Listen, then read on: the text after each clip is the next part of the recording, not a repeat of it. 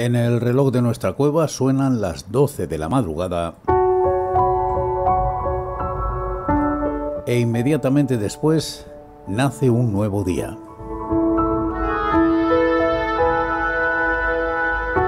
Y con él comienza la voz silenciosa.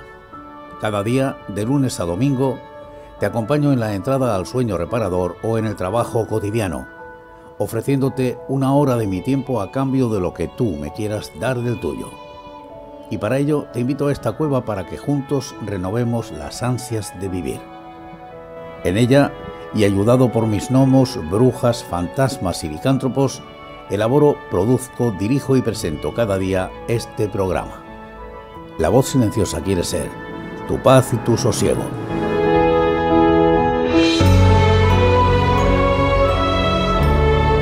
Es martes 6 de agosto del año de gracia de 2019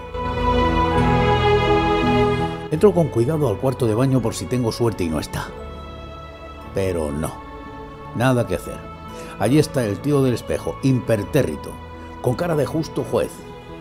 Me hago el loco, pero ni así. Me dice, ¿no vas a decir buenos días? Te vas pareciendo a algunos que entran en tu canal de Yo Know y no dicen nada y tú te enfadas.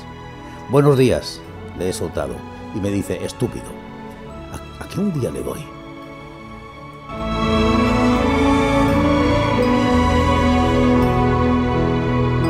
Saludos a todos los amigos silenciosos conectados a través de mi página web, en YouKnow, YouTube y Radio Box Online, o en cualquiera de las emisoras autorizadas. En España, Radio Disco FM y Onda Media, Radio Hit Navarrés, Onda Punto Calamonte, Onda Suroeste Radio, Radio Mactub NJ, Radio Antorba y Radio Intereconomía FM Región de Murcia. Y en Estados Unidos, Eli Radio Amistad y Radio Comunidad USA. Para todos, un abrazo inmenso, intenso y silencioso. Estamos en el ducentésimo décimo octavo día del año en el calendario gregoriano. Quedan pues 147 días para acabar 2019. ¿Celebras algo importante en tu vida? Pues muchísimas felicidades. Hoy en especial quiero dedicarle el programa entero a mi esposa, que cumple años. Así que, Cristina, muchísimas felicidades. Soy José Francisco Díaz y estoy en Murcia, en el Levante Español. Hoy emito el programa número 3869 de La Voz Silenciosa en su duodécimo año de vida. Visita mi página web, lavozsilenciosa.net. No te la pierdas. Todo sobre esta emisora y sus programas lo encontrarás allí y también un botón de suscripción para apoyar a esta emisora. Recuerda, lavozsilenciosa.net. ¿Y, ¿Y te la piensas perder? El contenido de hoy es este. El Palacio del Tiempo de Alexis. Definición de artista de la web definición.de este fácil soneto cotidiano, un poema de Salvador Novo y una selección musical de La Inda con frases de Séneca.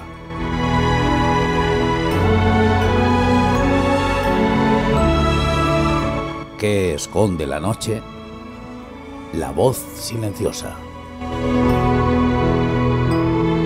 Cada día a las 12 de la madrugada. En la hora bruja la hora mágica. Porque la voz debe escucharse aun siendo silenciosa. ¿Comenzamos?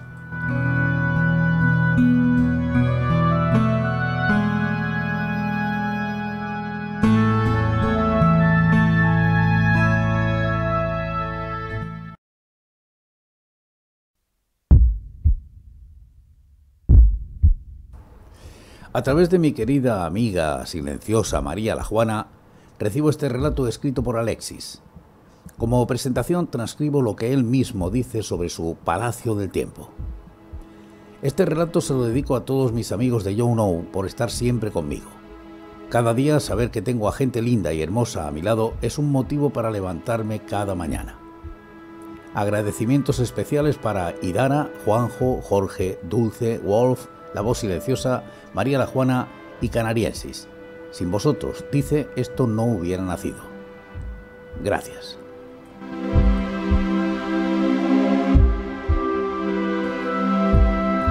El Palacio del Tiempo, de Alexis.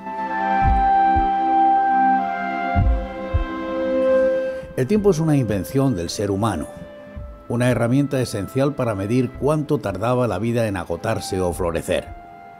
Era algo esencial para los cultivadores, para saber cuándo plantar y recoger la cosecha, cuánto tardaba el árbol en crecer para finalmente cortarlo y utilizar esos años quemándose en una hoguera a favor de que sigamos viviendo. ¿A dónde van todos esos segundos, minutos y horas gastados?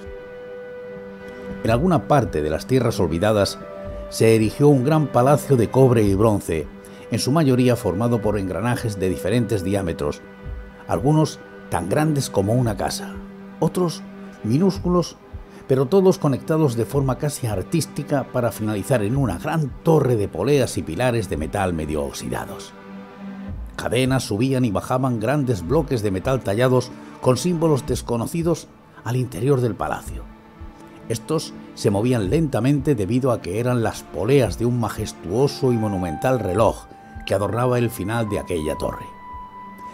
Era algo que parecía construido por grandes gigantes obsesionados por medir la duración de la vida, pero sabemos bien que esta raza es bastante torpe a la hora de emplear labores tan sofisticadas.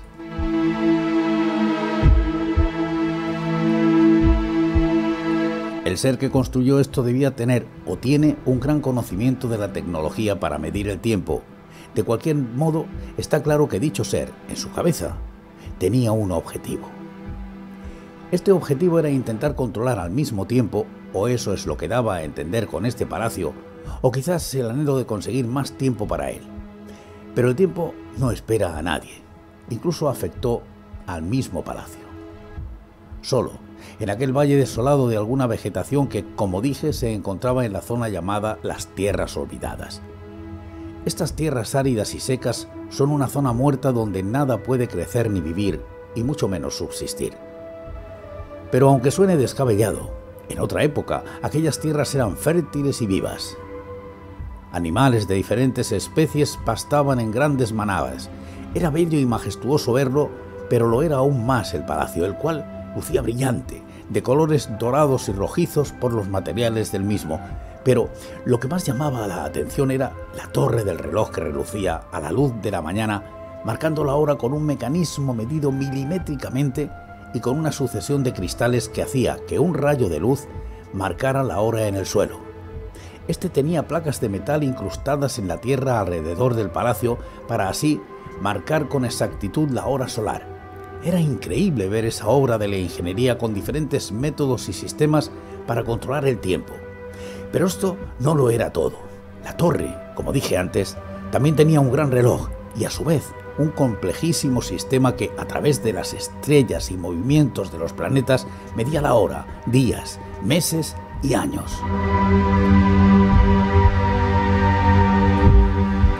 Era un símbolo para aquellas tierras, un silencioso presagio de que todo en esta existencia debe terminarse y a lo mejor ese era uno de los objetivos de aquel palacio, dar las campanadas del fin. Pero como todos sabemos no puede existir el fin sin el principio.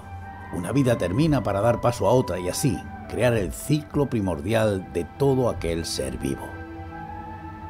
¿Alguien sabe exactamente quién habita ese palacio o solo es una estructura vacía? Hablar del Palacio del Tiempo es hablar también de las tierras olvidadas, ya que, como comenté antes, esas tierras no eran un páramo infértil como es ahora. Aunque solo son historias, quizás leyendas, la decrepitud de las tierras olvidadas está ligada al palacio y a una figura llamada el relojero. Bastantes leyendas y rumores circulan alrededor de esta figura llamada el relojero. Se dice que él fue quien construyó el palacio, era un humano estudiante del noble oficio de hacer relojes. Era un muchacho cuando su fascinación por estas máquinas llamaría su atención y comenzaría a estudiarla minuciosamente. Por obra del destino, consiguió ser aprendiz de uno de los mejores hacedores de este arte casi desconocido para el pueblo. El chico se convirtió en pocos años en el mejor de su clase. Tanto era así que sabía identificar el mínimo fallo solo con escuchar el casi inaudible sonido de los pequeños engranajes de un reloj de pared. No se sabe a ciencia cierta por qué un buen día desapareció de la ciudad. Se dice que fue por una joven de la que se enamoró perdidamente, pero ésta sufría de una enfermedad que en esta época era difícil de sanar, así que simplemente era cuestión de tiempo que la joven falleciera. Después de 50 años el palacio emergió en aquel valle y desde ese día lentamente la vida fue desapareciendo de aquel lugar, dejando a la estructura rodeada de la nada. Se dice que si estás cerca del palacio y te quedas observando detenidamente durante un largo rato, verás a través de una de sus ventanas a un hombre mayor que observa detenidamente un reloj de bolsillo al que dará cuerda con una pequeña llave. Si eres una raza con una buena visión como los elfos, verás que en el interior de la tapa de aquel reloj se encuentra una imagen de una joven que éste, con sus dedos temblorosos, acaricia delicadamente.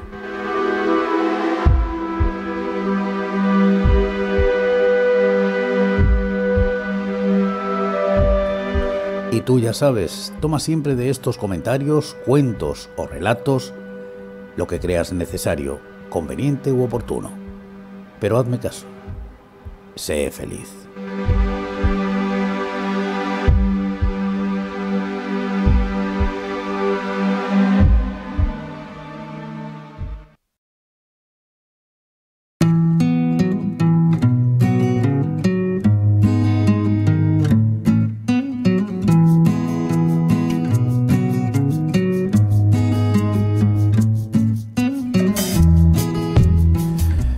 Que ejercita las artes y produce obras artísticas. Ese es un artista. Es decir, artista está asociado a arte.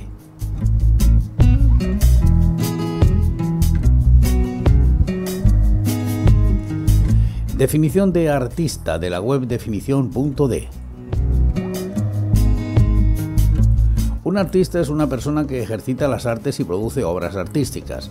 La definición del término, por lo tanto, estará asociada a aquello que se entiende por arte. Del latín ars, el arte consiste en la expresión de sensaciones, emociones e ideas a través de recursos plásticos, lingüísticos o sonoros. El concepto permite englobar a las creaciones que realiza el ser humano para expresar su visión sensible sobre el mundo real o imaginario. La noción de arte ha cambiado a lo largo de la historia y con ello el significado de artista. Los hombres prehistóricos que pintaron las cuevas de Altamira, por ejemplo, hoy son considerados artistas. Los artesanos medievales, los grabadores del Renacimiento y los arquitectos griegos también son artistas, al igual que los pintores, escultores, músicos, escritores y dibujantes actuales. Entre los muchos tipos de artistas que existen tendríamos que destacar a los poetas, a los novelistas, a los dramaturgos, a los pintores, escultores, músicos, cantantes. Amplísima es la lista de clases de artistas que existen y también es muy extensa la de los personajes que por sus cualidades en cualquiera de esos artes han conseguido convertirse en auténticos hitos de la historia del mundo. Entre los más significativos se encontrarían los siguientes. Leonardo da Vinci, su versatilidad y su gran calidad en todos y cada uno de los tipos de arte que practicó fueron dos de las principales señas de identidad de aquel que se convirtió en figura clave del Renacimiento. Entre sus obras más significativas cabría destacar pinturas tales como La Gioconda o La Última Cena, sin olvidar tampoco el dibujo de El hombre de Vitruvio. Miguel Ángel. Dentro del ámbito de la pintura, la arquitectura y la escultura fue donde destacó especialmente este artista que se ha convertido en una de las figuras más importantes de todos los tiempos. En el Renacimiento fue donde se hizo presente este personaje que nos ha legado obras tales como la Capilla Sixtina, la Basílica de San Pedro o el David.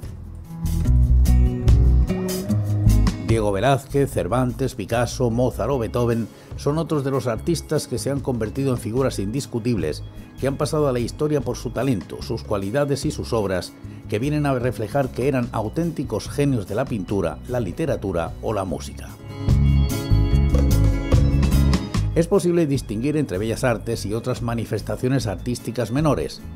En este sentido también entrará en juego la definición de artista. Una persona que se dedica a dibujar historietas o cómics puede ser considerada artista por algunos, mientras que por otros no lo incluirían en la categoría. También existen diferentes calidades en las obras artísticas. Un cuadro por lo general forma parte del arte, pero no todas las personas que pintan cuadros reciben el mote de artista. En algunos casos, incluso, un sujeto puede autodefinirse como artista pese a no recibir dicho reconocimiento social.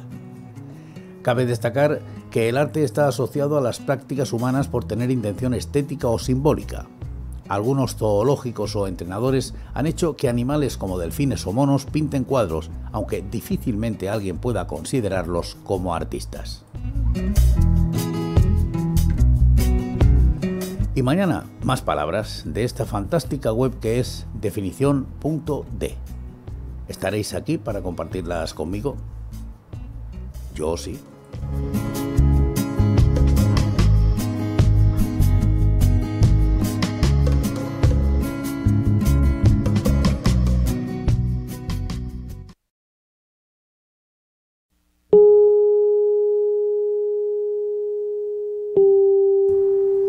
Este fácil soneto cotidiano que mis insomnio nutre y desvanece. Tengo debilidad por los sonetos. Tienen tanto ritmo y tanta frescura. Este fácil soneto cotidiano de Salvador Novo. Este fácil soneto cotidiano que mis insomnios nutre y desvanece, sin objeto ni dádiva se ofrece al nocturno sopor del sueño vano inanimado lápiz que en mi mano mis odios graba o mis sueños mece, en tus concisas líneas aparece la vida fácil, el camino llano. Extinguiré la luz y amanecida, el diamante de ayer será leerte, una hoguera en cenizas consumida. Y he de concluir, soneto, y contenerte como contiene el jugo de la vida, la perfección serena de la muerte.